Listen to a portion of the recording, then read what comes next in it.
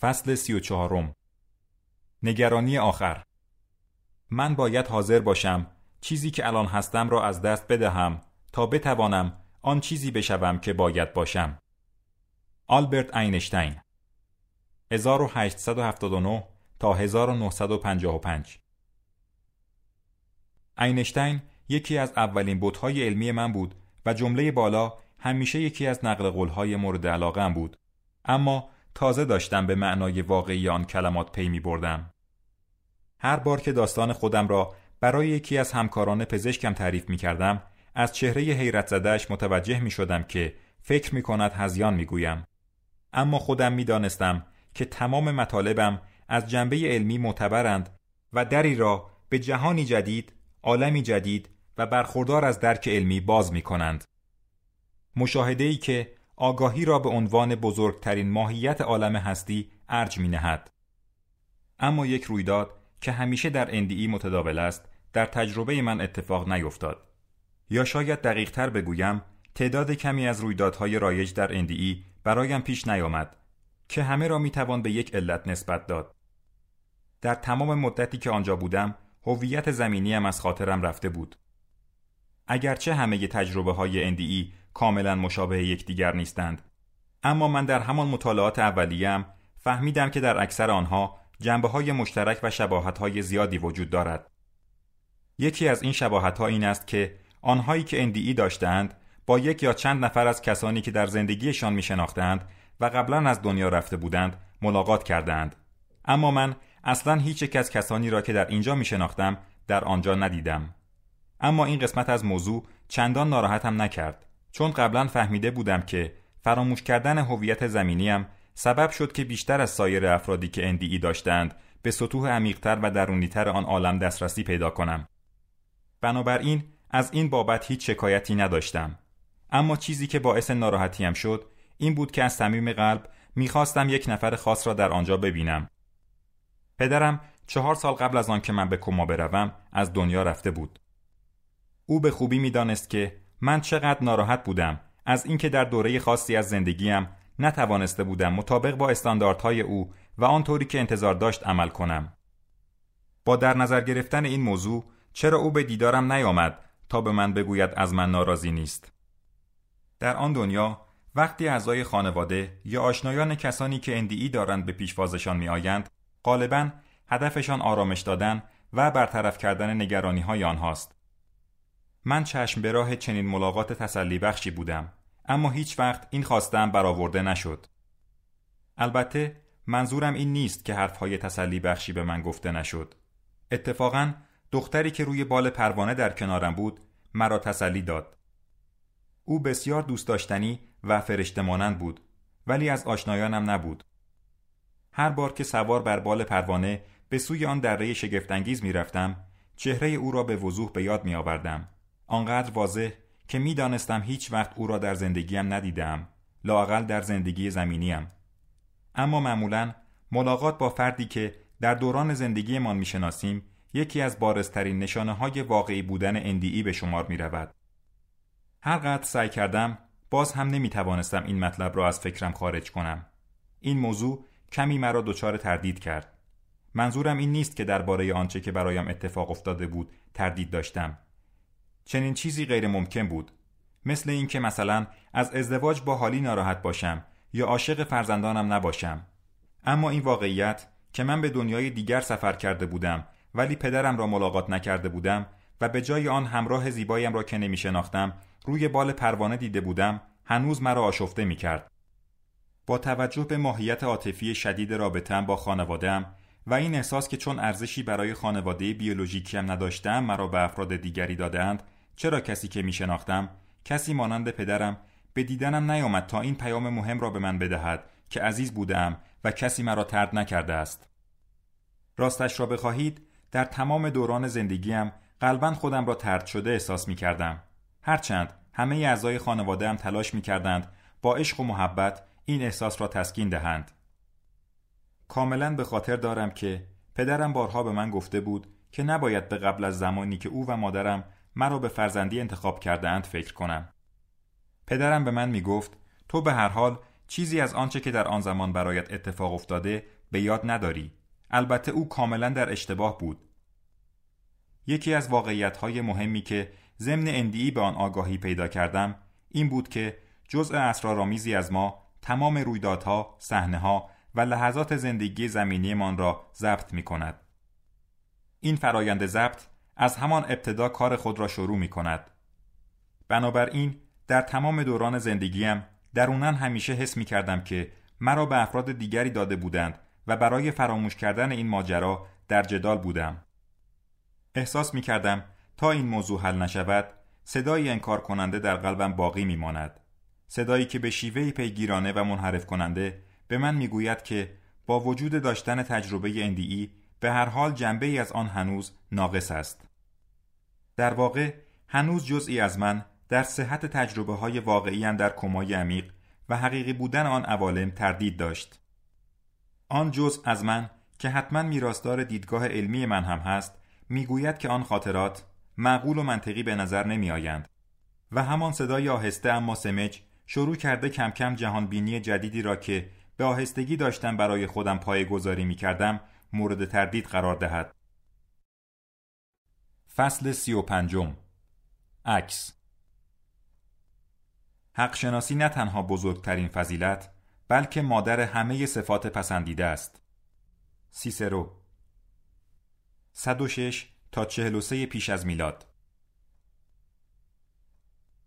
چهار ماه پس از خروجم از بیمارستان کتی خواهر بیولوژیکیم بالاخره عکسی از بتسی خواهر بیولوژیکی دیگرم را برایم فرستاد.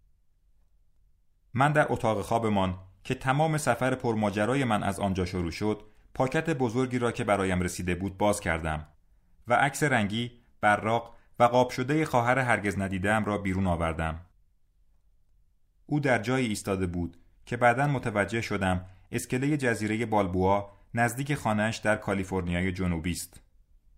منظره زیبای غروب آفتاب در سواحل غربی آمریکا نیز پشت سرش دیده می‌شد. موهای قهوه‌ای بلند و چشمان آبی رنگ داشت و لبخندش سرشار از عشق و مهربانی بود. با دیدن عکسش قلبم مملو از غرور و درد شد. کتی شعری از دیوید امرومانو با عنوان وقتی فردا بدون من آغاز می شود را که در سال 1993 سروده شده بود به عکس پیوست کرده بود. چون که فردا همی شود آغاز من نباشم که مرا بینی باز.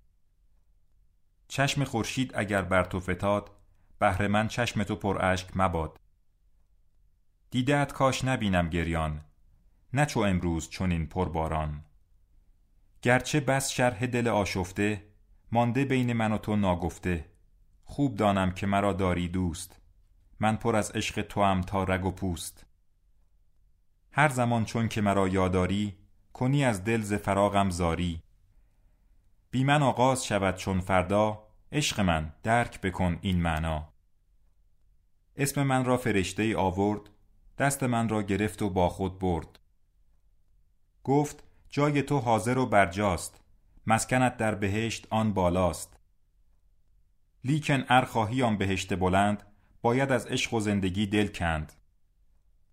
چون بریدم دل از عزیزانم اشک باریده شد ز چشمانم. زان که همواره بوده این به سرم که نمی‌خواهم از جهان بروم.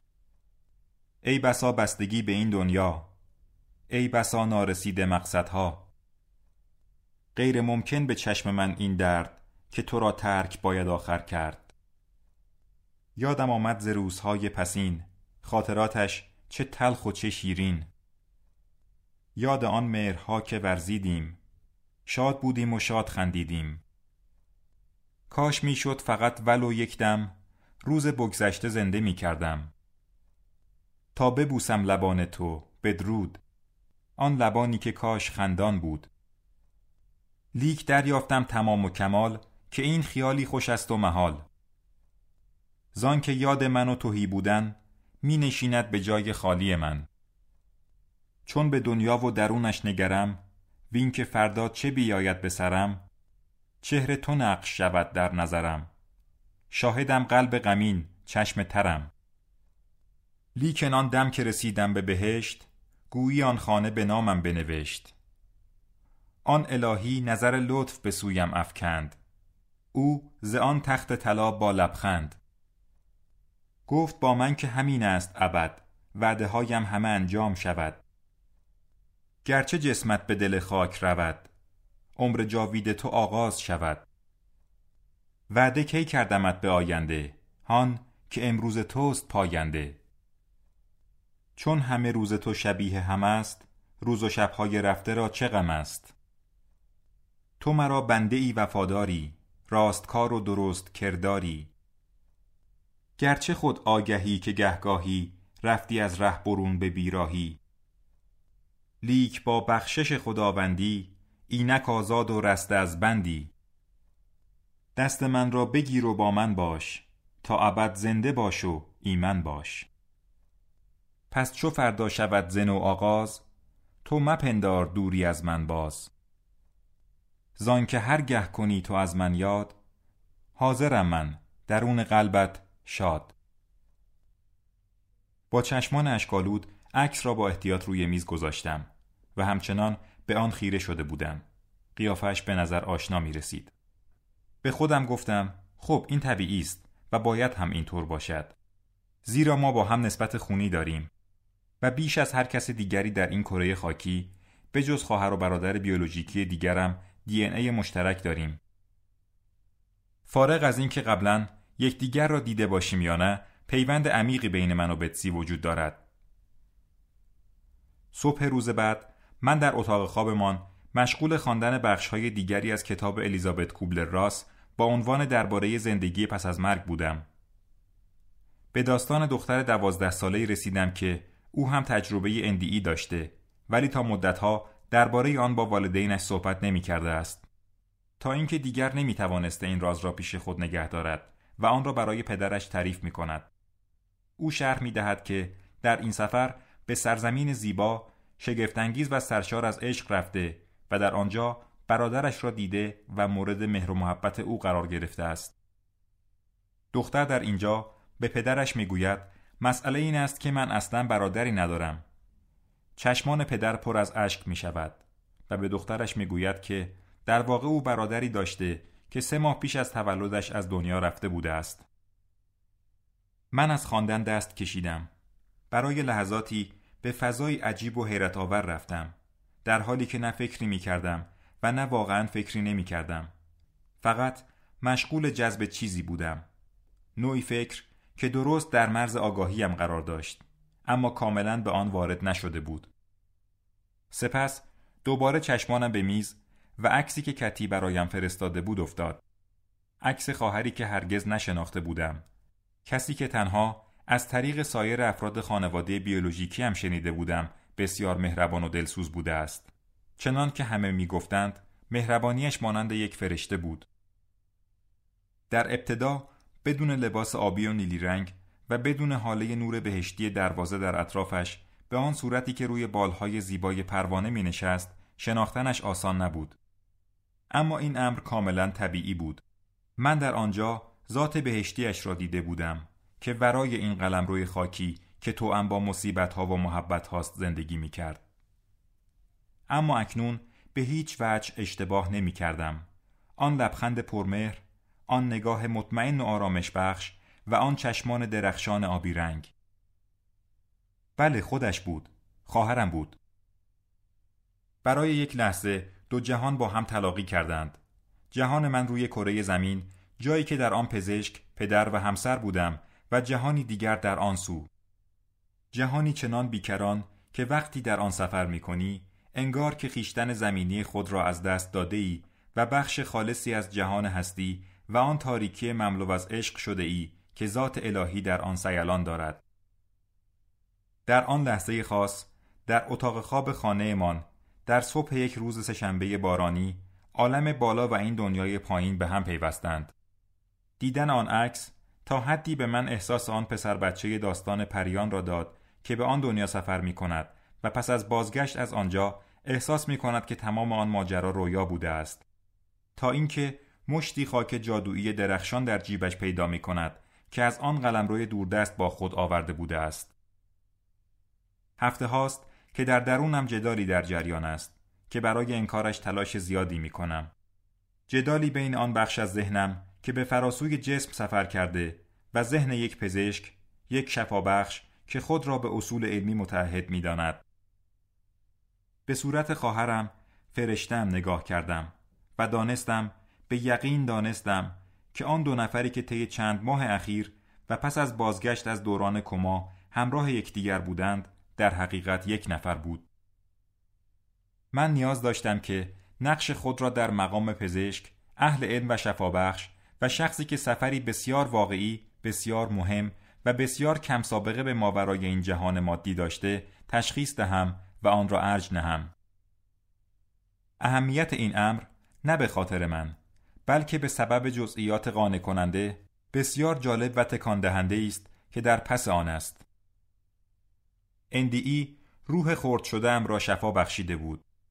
آن تجربه به من امکان داد تا متوجه شوم همیشه عزیز بودم و یقینا هر کس دیگری هم در این جهان عزیز بوده و هست من زمانی به این شناخت رسیدم که جسم فیزیکیم بر اساس موازین کنونی علم پزشکی در موقعیتی قرار داشت که غیر ممکن بود بتواند هیچ چیزی را حس و تجربه کند. می‌دانم که به هر حال اشخاصی سعی خواهند کرد تجربه ام را بی اعتبار جلوه دهند. ضمناً افراد بسیار دیگری هم هستند که نمی‌خواهند حتی این امکان را در نظر بگیرند که شاید تجربه توجیه علمی هم داشته باشد. چون آنها در هر حال آن را رویایی بیمنی و هزیانگونه تلقی می کنند. اما خودم بهتر می دانم. من به خاطر دو گروه کسانی که در این عالم خاکی هستند و آنهایی که بیرون از این قلم رو ملاقاتشان کردم وظیفه خودم می‌دانم که به عنوان اهل علم که جویای حقیقت است و به عنوان پزشک که خود را متعهد به خدمتگذاری و کمک به مردم می‌داند تا جایی که می‌توانم دیگران را از تجربیاتم مطلع کنم زیرا آنچه در آن عوالم برایم پیش آمد نه تنها برای من بلکه برای همه ما حقیقی، واقعی و دارای اهمیت فوق‌العاده است. سفر من نه تنها درباره عشق بود، بلکه در این باره نیز بود که ما کیستیم و چگونه به هم متصلیم، همان چیزی که معنای واقعی وجود است. من در آن بالا متوجه شدم که چه چیزی و چه کسی هستم و وقتی بازگشتم فهمیدم که آخرین رشته های از هم گسیخته خیشتن زمینیم دوباره به هم بافته شدهاند. تو عزیز هستی. اینها کلماتی بودند که من به عنوان یک طفل یتیم و کودکی که به دیگران واگذار شده بود محتاج به شنیدنشان بودم. اما در این روزگار مادیگرایی هر یک از ما محتاج شنیدن این کلمات هستیم. زیرا از این لحاظ که ما چه هستیم، از کجا آمده ایم و واقعا به کجا خواهیم رفت، همه به اشتباه احساس می کنیم که یتیم هستیم.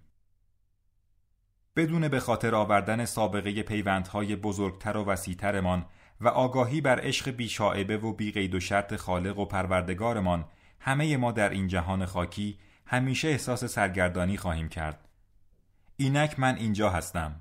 هنوز اهل علم و پزشکم و بنابراین دو وظیفه اصلی دارم. تجلیل حقیقت و کمک به شفا بخشیدن. به همین سبب میبایست داستان خودم را بگویم. داستانی که با مرور زمان مطمئنتر می‌شوم که بدون دلیل پیش نیامد.